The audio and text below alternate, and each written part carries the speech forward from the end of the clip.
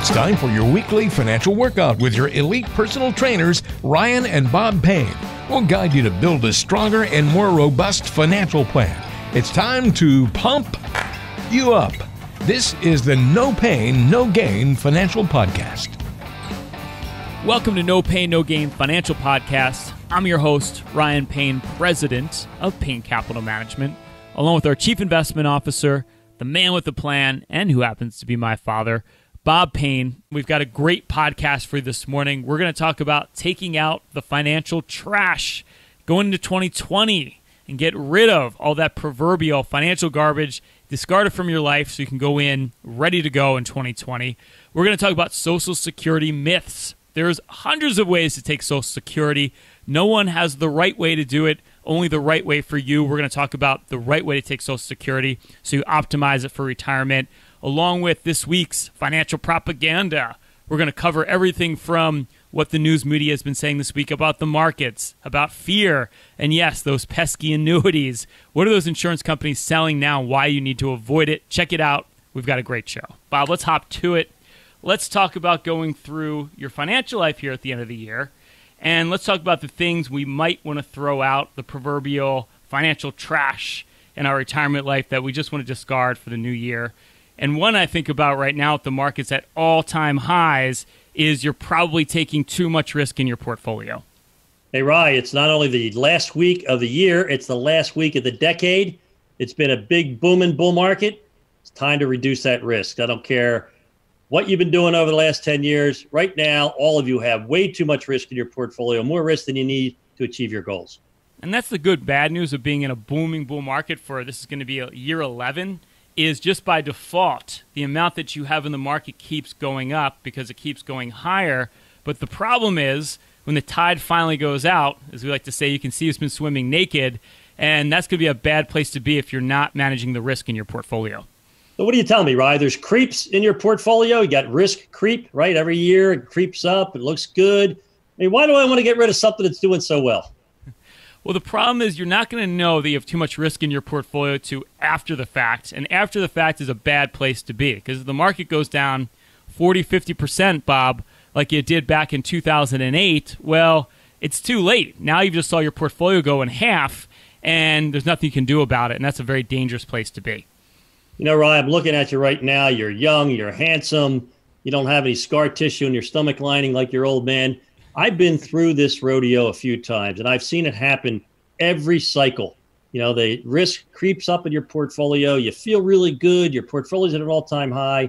Then we get hit with a black swan event and boom, you could be losing 30, 40%. Let's not let that happen anymore. Yeah. So the question you want to ask yourself is if we were in a market like 2008, how would your portfolio hold up? And in fact, we actually have a modeling software now where we can take your portfolio.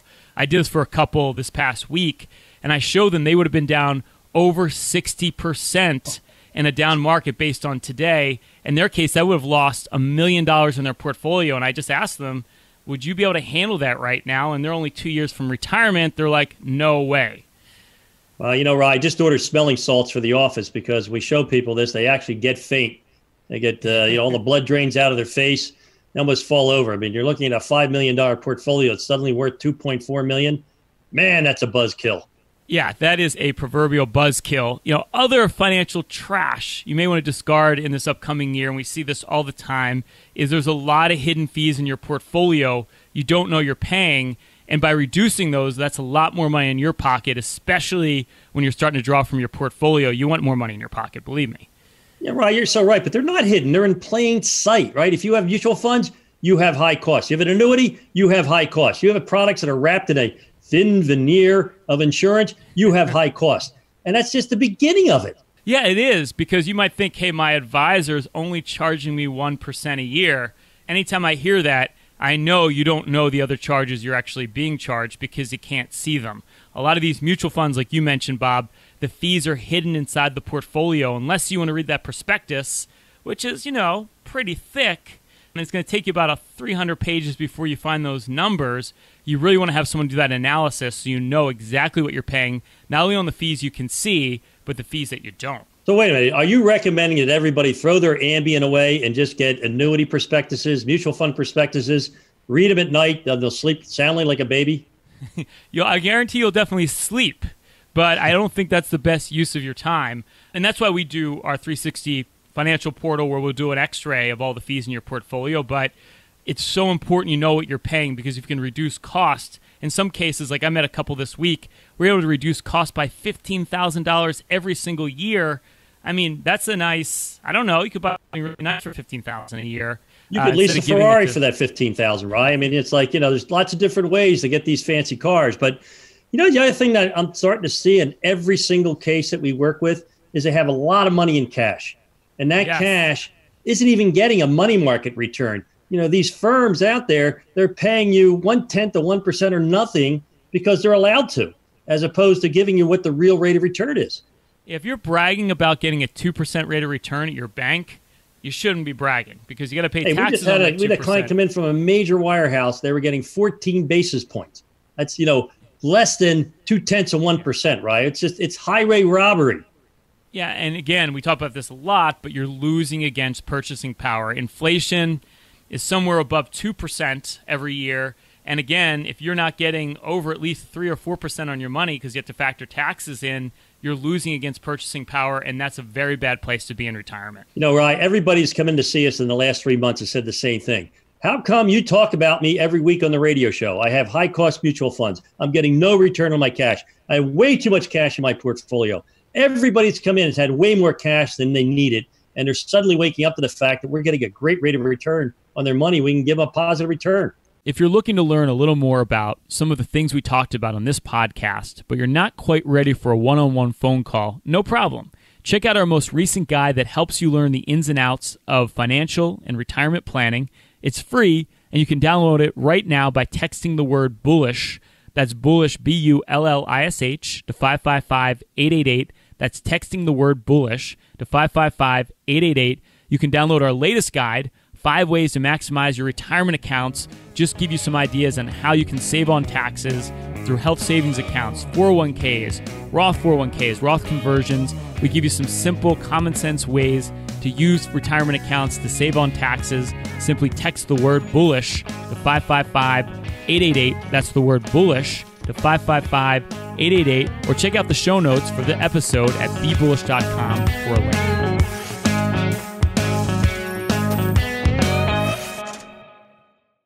Let's see what people are saying about those other financial guys out there. I wish you could just shut your big yapper. Looks like you'd better stick with us. So, Bob, one of the most important decisions you need to make when you're building your financial plan is invariably going to be how do I take Social Security? So, I thought we could discuss some of the bigger myths about Social Security so that our listeners can make the best decision. And the first one is there's a perfect time to start collecting Social Security. Oh, well, well wait a minute. Let's go back a second. Let's go back a second.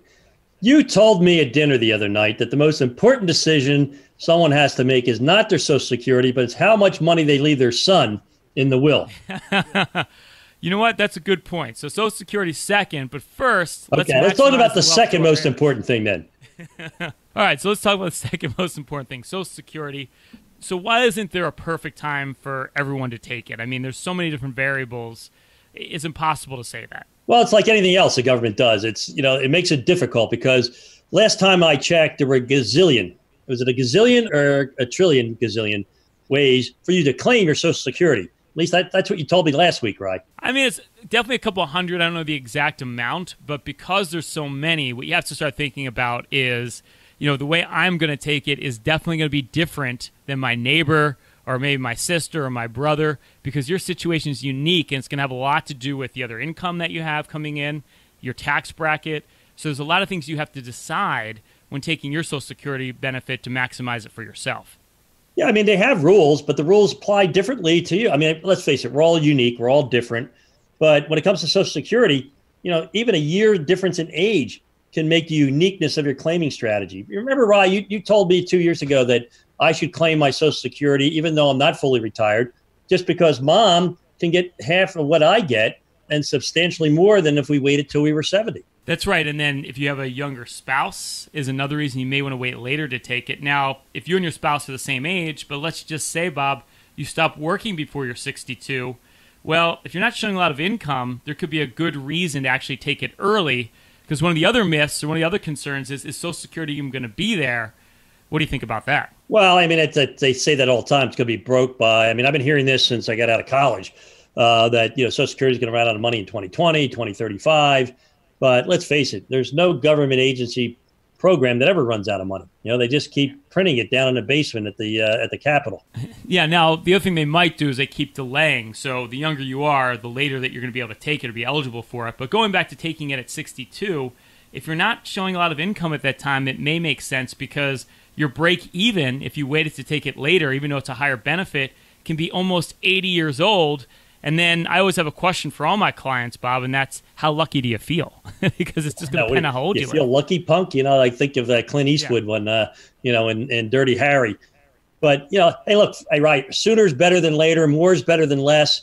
What you have to find out is what is your best strategy, right? It's going to be different. I had a couple in my office this week. I suggested the same thing you recommended to me. They're a year difference in age. They don't have that ability to to have half, you know, claim for his spouse. So everybody's different. Everybody's unique. You need to run that projection. And you know, the other thing you need to do, Rye, you need to run that projection in concert with all the money you have. No, exactly right. Because other incomes coming in can have a big effect on whether you should take it early or not. Because again, even though the benefit might look great to take it later, you might think to yourself, well, I don't need the money right now. But you could pocket that money, you could invest that money, which again could be a much bigger pile of money than you waiting later to take it at a higher benefit. So all those things, to your point, Bob, have to go back to it. Really becomes a portfolio decision because by taking it early too, that's less money you have to pull from from other assets. So you know, these are big myth that I've been about. seeing in almost every meeting, especially because a lot of my clients are you know baby boomers like me or older, and they're saying, "Well, Bob, I can't take my Social Security because I'm still working. I'll be fully taxed." You know, there's this big tax myth that if you take it earlier while you're still working, that the government's just going to take it all back. Yeah, and that's actually not true. So if you're at full retirement for a lot of us, it's 66, depending on when you get your paper, what it says. 85% of it's taxed, but that's all the time. If you wait later, it's still going to be 85% taxed, but that's still not fully taxed. Now, what you got to be concerned about is if it's 62, taking it early, that's where you can really get penalized if you're still working. So these are the numbers you really have to run through run through with your accountant, and your financial advisor, but the tax situation is going to be a big component. You need to understand what taxes you're going to be paying at different ages, and that'll really help determine when's the best time to take it for you. I think that's so true, Rye, but I got to tell you, you know, one of the sweetest things ever, because if you've been paying taxes your whole life like I have, there's nothing better than actually getting money back from the IRS and depositing in your account, and it doesn't come with an audit you know, every time I got an IRS envelope, I used to get really nervous, like, oh my goodness, what did I do wrong? Now I get an envelope and it's money, it's cash, it's a check, it's for me. Greatest thing in the world. They're still going to tax you on it, but I guess that's a whole other conversation. So I guess. Yeah, I know. It's nice being able to take it out of, of the IRS as opposed to giving it to the IRS. It is one of the sweeter things in life, you know, when it comes to managing money. Yeah. So, Bob, I think bottom line here is you really need to run those numbers. You need to run them in concert with the rest of your financial plan. If you're not doing that, you're not going to optimize that benefit. And you know that can have a huge impact in a negative or positive way, depending on how you do it. If you're enjoying this podcast, if you're getting the knowledge that we believe you're getting out of it, we want to offer you a free consultation to make sure you have the best financial plan possible. We call it our Total Financial Master Plan. If you qualify, here's what you can expect. We're going to look at everything from taxes, have you optimized your financial plan for taxes. We're going to show you how to save on taxes so it's more money in your pocket, not the government's. We're going to look at income. Income is so much more reliable than the ups and downs of the market. We're going to show how to optimize or increase the income on your portfolio. And we're going to look at diversification. What hidden risks do you have in your portfolio you don't know about? We're going to show you how to bulletproof and safeguard your portfolio, protect it for retirement. To see if you qualify, simply text the words free financial review to 844 752 6692 that's the words free financial review and text them to 844 752 6692. See if you qualify for our holistic total financial master plan.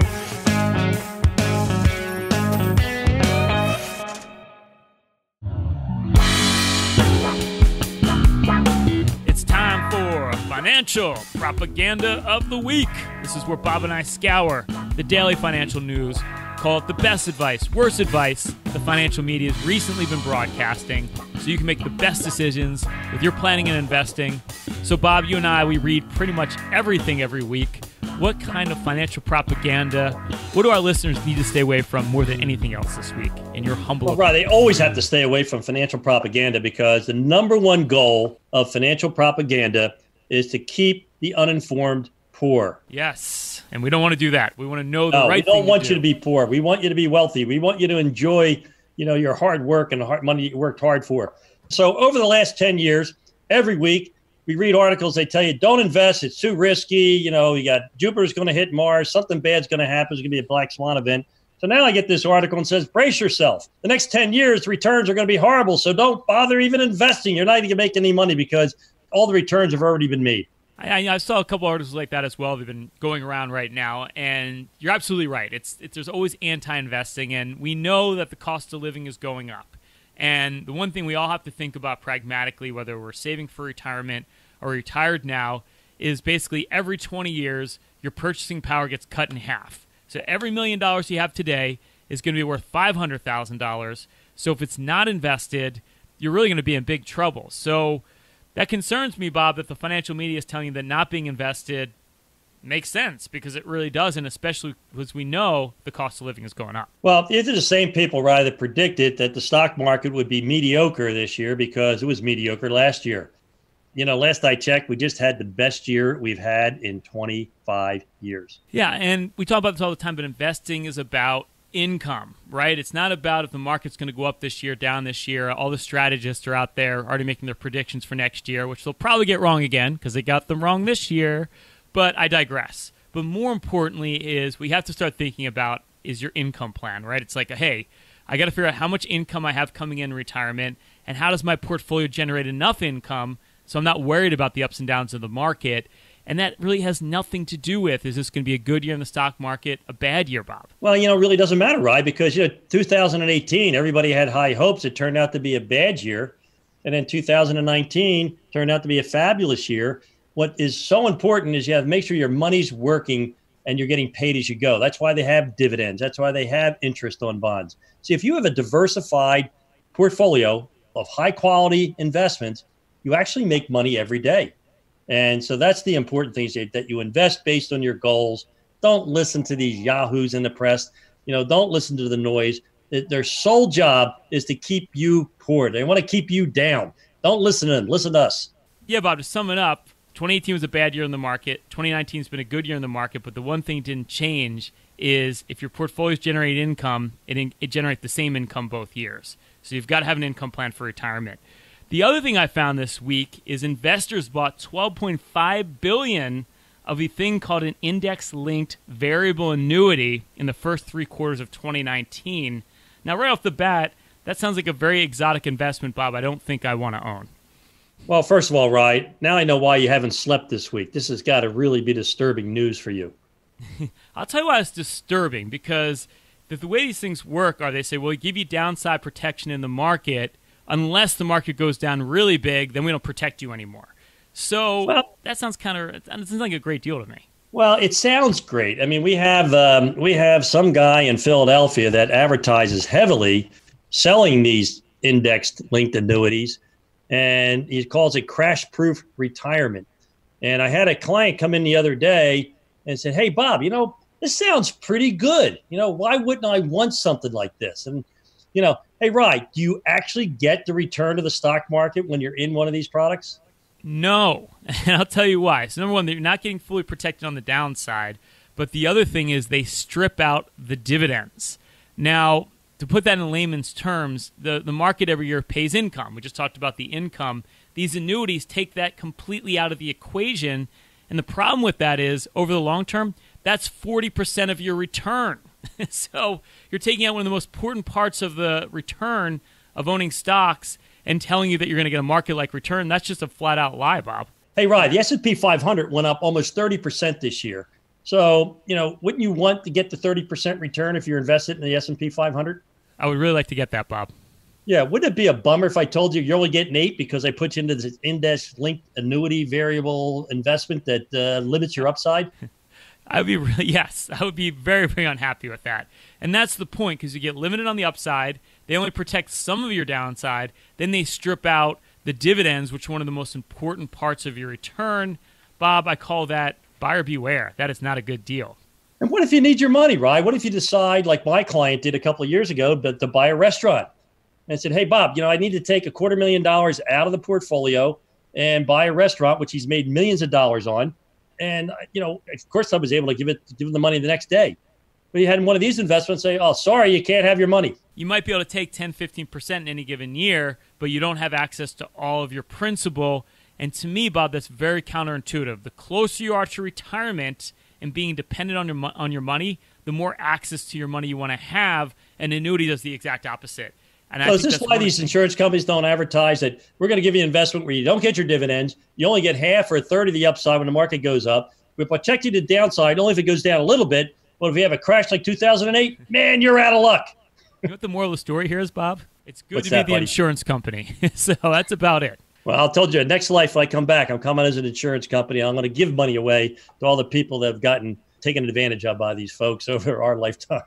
Very benevolent of you, Bob, and I think our listeners appreciate that. You heard it here Thank first. You, if you're enjoying this podcast, if you're getting the knowledge that we believe you're getting out of it, we want to offer you a free consultation to make sure you have the best financial plan possible. We call it our Total Financial Master Plan. If you qualify, here's what you can expect. We're going to look at everything from taxes, have you optimize your financial plan for taxes. We're going to show you how to save on taxes so there's more money in your pocket, not the government's. We're going to look at income. Income is so much more reliable than the ups and downs of the market. We're going to show how to optimize or increase the income on your portfolio. And we're going to look at diversification. What hidden risks do you have in your portfolio you don't know about? We're going to show you how to bulletproof and safeguard your portfolio, protect it for retirement. To see if you qualify, simply text the words free financial review to 844 752 6692. That's the words free financial review and text them to 844 752 6692. See if you qualify for our holistic total financial master plan. Hey, thanks for listening. We'll have another great show on tap next week. Don't forget to subscribe to the No Payne, No Gain financial podcast on Apple Podcasts, Google Podcasts, Spotify, and everywhere else you can get podcasts. If you're looking to listen to past episodes or to access resources mentioned on the show, check out the full show notes of the program by clicking the link in the description of today's show or by visiting bebullish.com. For Bob Payne, I'm Ryan Payne, and as always, be bullish.